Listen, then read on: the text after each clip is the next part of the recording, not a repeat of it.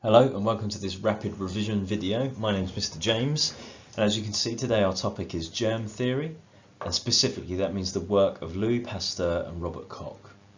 We'll be looking at both of their discoveries and the significance and the limitations of their work.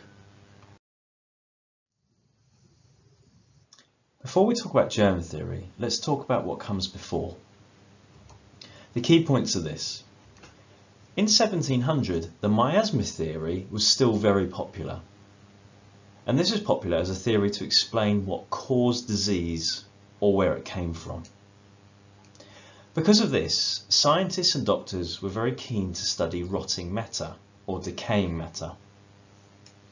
They found tiny organisms on this rotting matter and that led to them creating the spontaneous generation theory. This is the idea that these microorganisms were caused by the decaying matter. Or to put it another way, these living things, these microorganisms, were caused by non-living things. That's important to know because Louis Pasteur's main discovery is that he proves spontaneous generation to be wrong and he develops in its place germ theory. How does he do this? Well, Louis Pasteur is a scientist in France and he is called in to investigate the struggling French beer, wine and milk industries in the 1850s. He observes in each of these liquids that there are microbes causing the liquids to turn bad. That leads him to develop a germ theory that he publishes in 1861 and it makes four claims. Firstly, that the air contains living microorganisms. Two, that these microbes or microorganisms are not evenly distributed in the air. You can find more of them in some locations than others.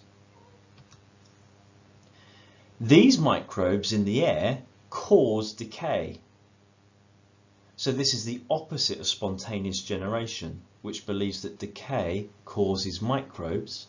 Pasteur says that microbes cause decay. And he also finds that microbes can be killed by heating them. Now, many people do not believe this theory to begin with.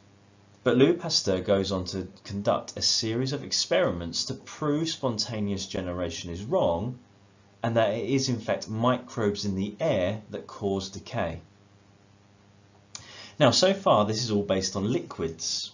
However, in 1865 Louis Pasteur is asked to investigate a disease that is affecting silkworms which is therefore ruining the French silk industry.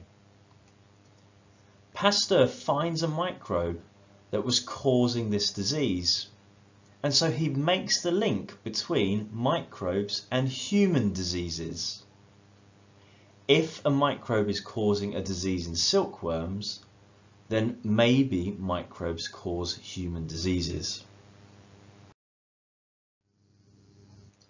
This is hugely significant in one sense, because not only has he disproved spontaneous generation, he has proved that microbes cause decay and that microbes can cause diseases in animals. This should be hugely impactful, but in Britain this has a limited impact for four reasons. Firstly, he's not a doctor. Thirdly, a popular doctor, Dr. Bastian, continues to promote spontaneous generation. Thirdly, there's lots of different microbes and we just can't identify what their role is and even people who do agree with him, like John Tyndall, are just not trusted like Bastian. That's where Robert Koch comes in, because Robert Koch discovers which specific microbes cause certain diseases. He reads Pasteur's theory and discovers the microbes causing anthrax and tuberculosis. He does this by connecting a lens to his microscope, which allows him to photograph his methods and demonstrate them. He grows bacteria in petri dishes of agar jelly to test them, and he develops a method of staining invisible microbes so they can be studied. he also discovers the microbe causing cholera in 1883. The impact of this is huge.